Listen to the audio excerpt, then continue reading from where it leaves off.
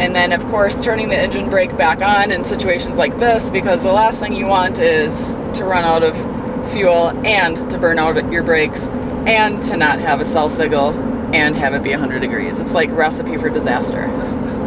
Did I miss anything?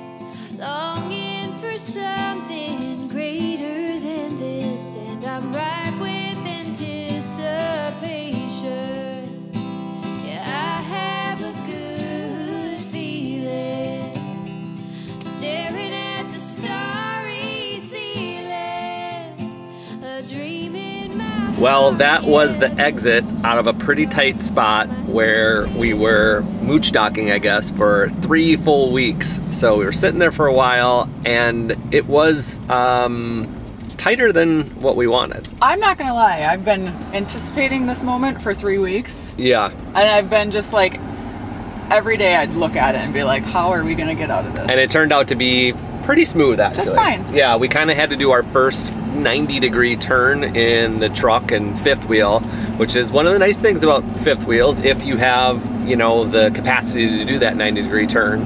And it got us out of there pretty slick. We, kind of just did a we wide pulled out like a champ. Yeah, it was good.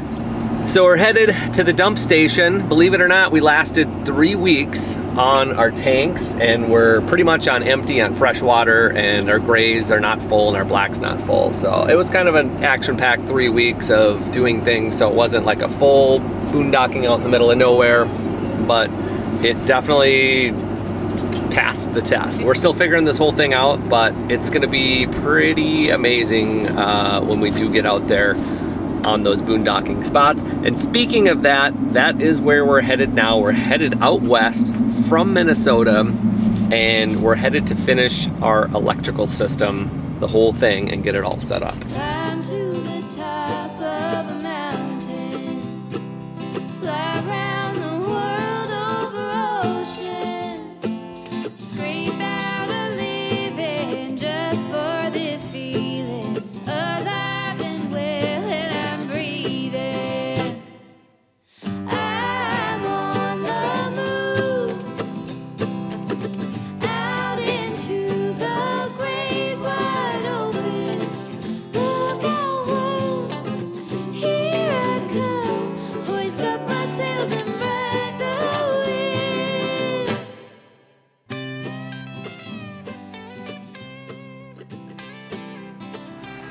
Well, here we are at good old Cracker Barrel.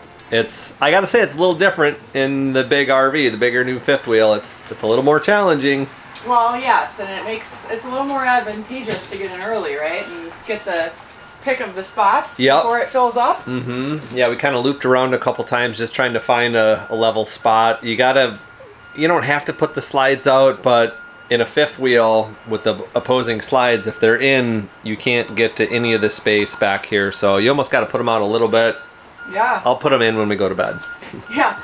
yeah. So we got we didn't get too many miles in today. It was like only 300, but we did a full big day of waking up, packing up, you know, going and dumping. We've actually been in pack and travel mode for like 9 hours. So, we're going to get up nice and early tomorrow because you don't have anything to do. You get up and go.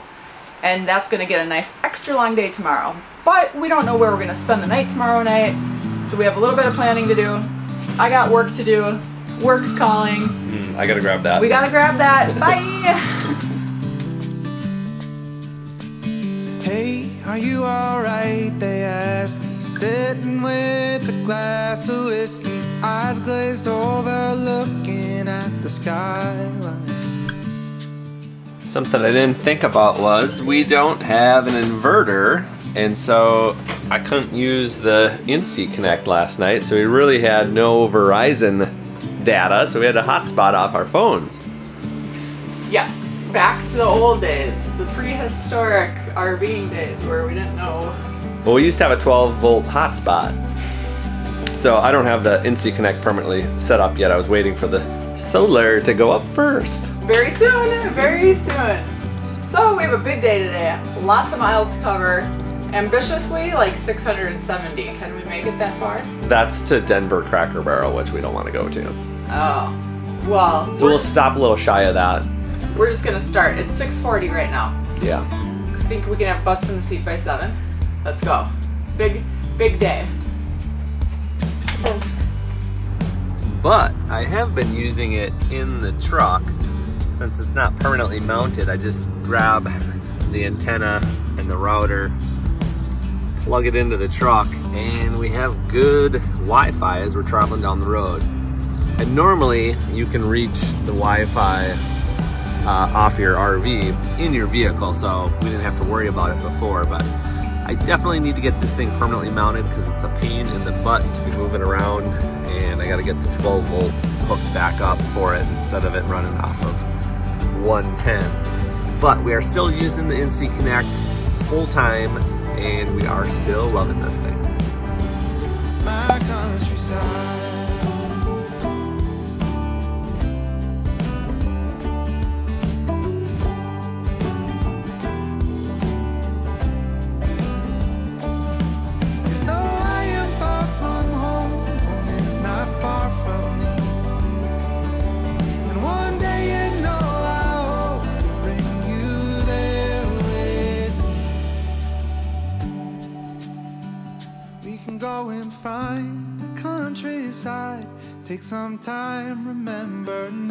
Sitting by the fire, leaning back, watching the red sky sunset. Let those bare feet sway and swing.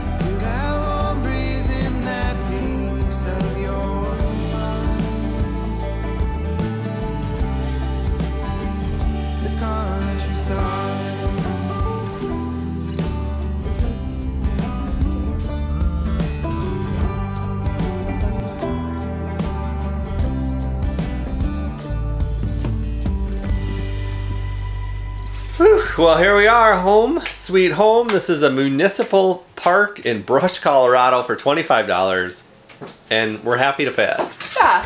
You know, 15 would be better, but 25 is good. Well, it has 50 amp and uh, water. So that's nice because it actually got really hot all of a sudden. It's like sunny and I'm sweaty and it'll Yeah. be nice to plug in and pretty soon we won't have to worry about any of this plug-in madness. We'll be back to our usual um, Shenanigans? We'll be back to our usual shenanigans. what were you gonna say, lollygagging? I don't know. I okay, so we ended up making it 600 miles today, which was my goal.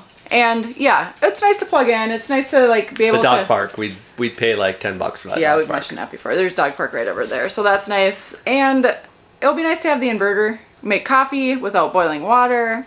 Can plug in our Insti Connect. And you're gonna do some laundry. I am gonna do some laundry. I'm gonna get a head start because remember tomorrow we're going to a RV park, an actual RV park for two days because I have to work on Sunday. And this is gonna allow me to get a little jump start on my laundry action because I have a lot of loads to do and they take between two to three hours per load, depending on if you use express mode or not. And I'm just happy I haven't used a laundromat for so long and now I get to use my washer and dryer. It's pretty slick. Good travel day. Happy to be here. Louie, you were grumpy today. Louis was so grumpy today. Look how big June's tail is. She's Squirrel. she's all of a sudden Squirrel tail. she's all of a sudden I think like near her max size. She's getting there. She still has a small head, but she might just have a small head forever. Oh, Louie. The Oh. dog park, where are you Let's give him some let's give him some food and water. So, over the past couple weeks, I was able to get some really good, kind of smaller upgrades done that I needed to get done.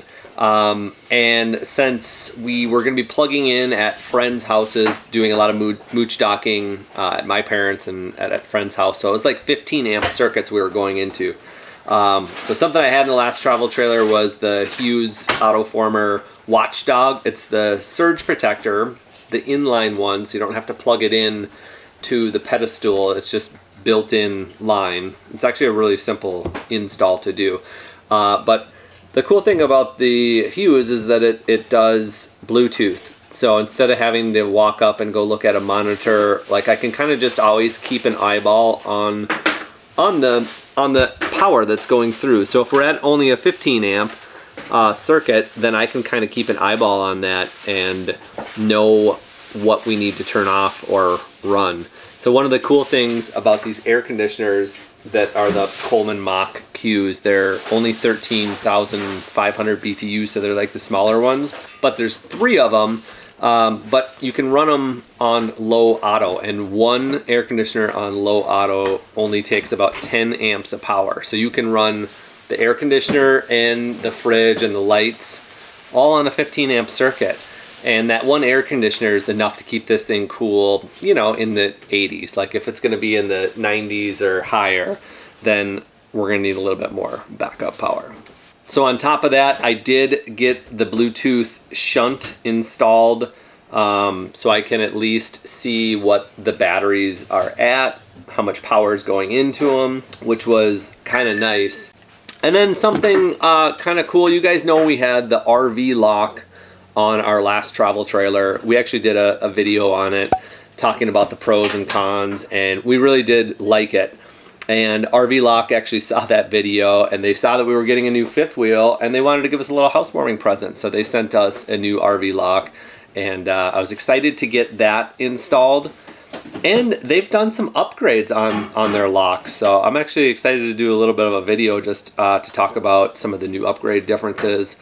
And I really like what they've done. Slowly but surely, we're kind of making this RV home, but the big upgrades is what's coming next week. And we're excited to show you guys all about the new solar, the new lithium, and the new power package. Woohoo! Good job on all those upgrades. And I forgot I installed three soft starts up on the air conditioners. That was something I was really excited to do. Right now there's two air conditioners running on cool low auto. But isn't that amazing? We're running off of two air conditioners right now. And it's literally less than 25 amps of power. It's like we could be on a 30 amp circuit and be completely fine. Yeah, that's true. Is our our batteries not charging? Our charger. It's charging a little bit, yeah. We don't have a huge Aaron, you're charger. starting to teach me something. Yeah, yeah. The charger automatically turns on, and so we could even kick on the the bedroom air conditioner. Let's say it was, I know. Let's say No, was, we, what we could do is we could run the washing machine yeah, at the same time. At the same time. Yeah, so you're not gonna have to ask like, can I start the microwave? Do I need to shut that off? I'll probably still ask. yeah. Well, it's good to know until we figure it all out.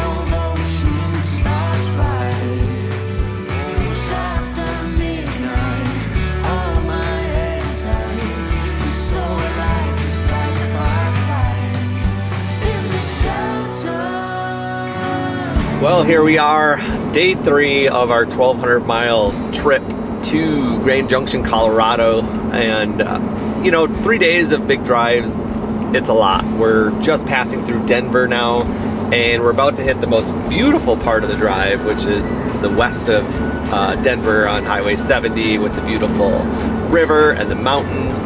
And we can already kind of see it off in the distance. It's pretty. My ears are starting to pop. I can feel some elevation changes. yeah, Colorado is a special place, and we're kind of sad we don't get to spend too much time here, but we're continuing on to California after a two-day stop at a KOA here, and um, it's it's been it's I think it's good to have that two-day rest on a three-day drive like this. If we were driving straight from Minnesota to California, it would have been you know five full, big, long travel days, which is just tough on everybody. Next stop is Grand Junction.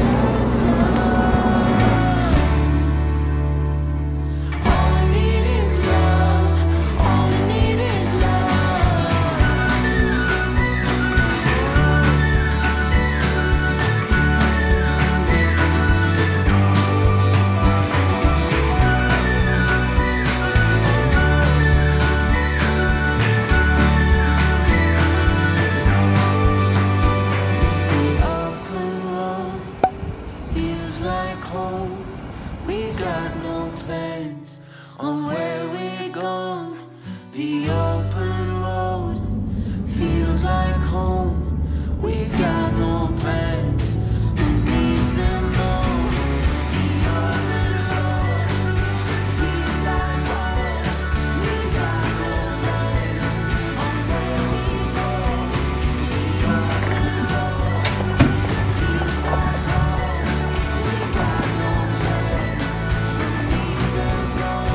So I just started with one of the big tasks I had to do before getting the system installed and I was a little nervous at first. So basically the Lynx distributor has 5 16 holes on the positive and negative input for the bus bar and the way I want to use it is I'm going to put my switch on the positive and then I'm going to put the Bluetooth shunt on the negative side down here and both this switch and the shunt have 3 8 size bolts so I had to drill out these holes just a little bit the Lynx distributor is designed for either the Lynx BMS uh, or the Lynx shunt to be in here. But the reason I don't want to use the Lynx shunt is because it doesn't have Bluetooth, and I really enjoy being able to just uh, pick up my phone and have a quick glance at my system's power and not worry about having to get up and, and go look at the screen. So that's the reason I wanted to do this. Also, I think it's a little more compact, and I just like the way the design is.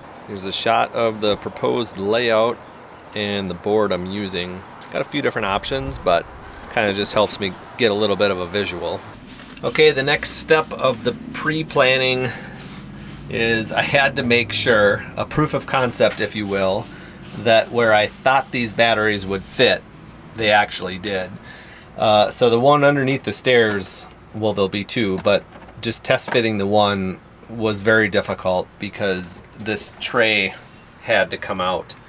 Um, the battery slides underneath and this was just too tall so I just couldn't I couldn't get it back in there so I actually had to unload everything and remove the tray to get that battery in there and it's gonna be a tight fit because I obviously have to put a second one in there um, there's this outside spray shower water line that I'm not sure what I'm gonna do with that I, I might cap it off right here and just get rid of it uh, it's probably not something we're gonna use a lot but I might just leave it as well. I don't necessarily love having a water line going over my batteries, uh, but I'm pretty excited that the batteries are fitting. Um, and I think it's going to turn out pretty cool. I might do something interesting and leave off the gray board that's here and maybe put a little light behind here to, to shine on the batteries. Because normally this is all covered up with the gray boards.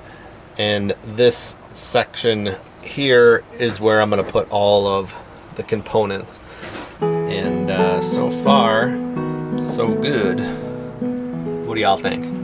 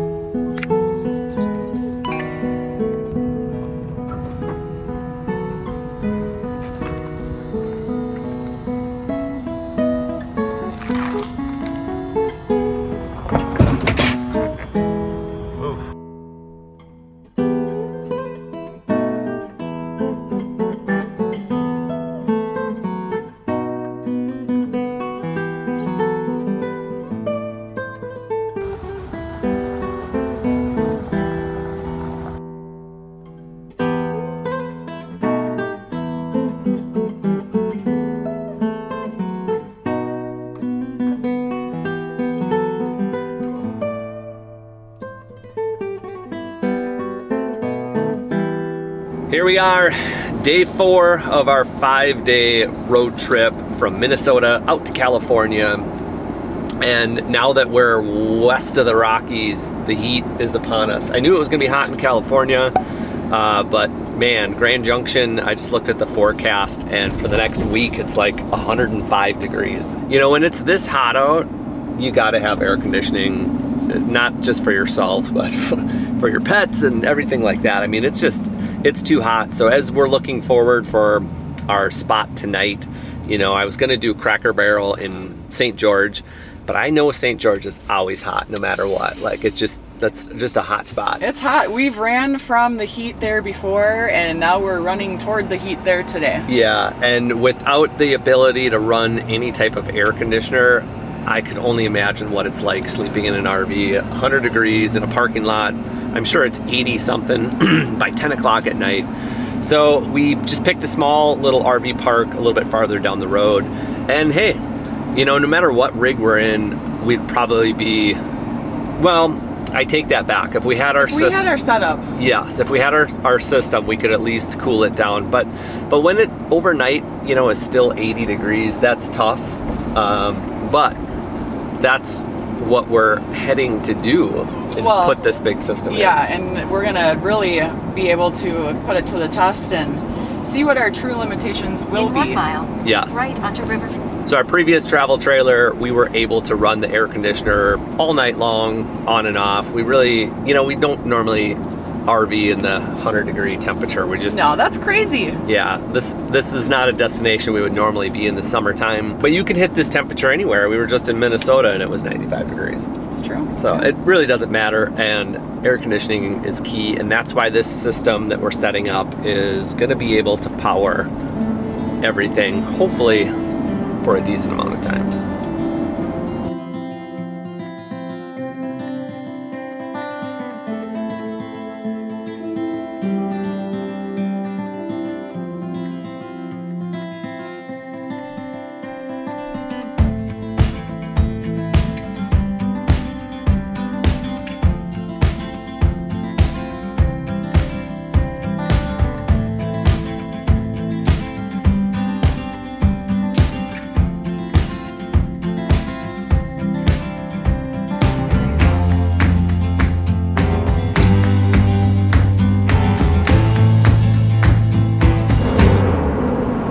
As we've traveled so quickly from Minnesota now to the western side of the Rockies, you can really just now see how open and vast and how much this feels like the West. And I really am enjoying this entire hotshot road trip more than I thought. So going through Iowa and Nebraska are, of course, more plain, not so much exciting things to look at, but I did appreciate the smooth relaxingness of it, like as compared to Chicago. So I'm like, okay, this is nice, I'll take this. With the exception of that one rainstorm we drove through, that was kind of stressful. But then driving through the state of Colorado was so incredible. And I don't think we talked enough about how special just driving through it was. And it really reminded us of our time in the rooftop tent, living there for a summer for five months. That was really special. And now to be going through Utah, you know, like how special is this drive? Yeah, Even though you're not stopping, you still get to enjoy these views. This is going to be the entire state of Utah we go through into Nevada. And we've been almost covering entire states in a day. So Every state, yeah, new state per day. it's been pretty pretty good, pretty fun, and it feels good to be back out west. The RV and the truck are doing great. I have to say we're really enjoying the smoothness of the independent suspension. I thought you were next going to say, and Chris is doing great. I was getting there. Chris has been powering through everything. Powering. The mountains were a little scary, like she said, but It does drive so nice. So nice. And I think I even noticed our first wind day yesterday, and there was zero like wind friction on towing this versus the travel trailer. I would have felt that for sure. sway. Sway. it's worked out pretty well so far and you know towing up and down the the two passes through colorado um, no problem like 8% grade up and down i think we made it to 11000 feet at independent pass We did, and for those of you that are always asking about our miles per gallon, we dropped down to 7.5 during those mountain pulls. And then regularly we're sitting at like 10, and then on a good day we'll be at 12. That's what we're ranging from. quick little pull over to use the bathroom and this is why we love utah it is such a pretty state louis? Just so beautiful. We're right in between uh, services. The sign said 100 miles till the next service so might as well use the bathroom while we can. So we're in one of those areas where it says next services 100 miles. And we just passed the gas station out right before that sign and we had 100 miles above empty or 100 miles above our destination to get to the gas station and all of a sudden Yeah, so the the station was 100 miles, and our reader said we had 200 miles to go. Exactly. And now all of a sudden, our gas light's about to go on. It's been it's been dropping. Our fuel has been dropping like flies, and the the cushion is down to like 25 miles difference. I think the truck is going through a regen process where it uses extra fuel to clean out the catalytic converters because we're now 28 miles out and that gas light's about to ding. and I'm having an anxiety panic attack right now. And the road kind of turned from pretty flat to now like up and down mountainous. The whole 100 miles is like up and down. and super windy and it's hot like 100 degrees. I think that's the thing that stresses me out the most is like if we had to pull over and hitchhike to get fuel you know it's really hot for the dogs. What do we do? Take them with us?